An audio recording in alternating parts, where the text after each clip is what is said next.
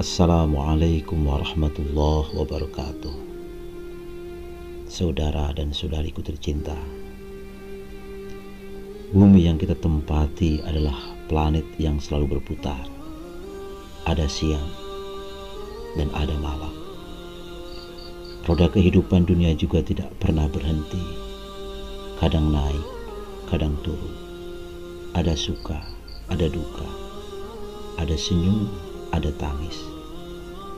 Kadang kala dipuji, tapi pada suatu saat kita dicaci. Jangan harapkan ada keabadian dalam perjalanan hidup ini.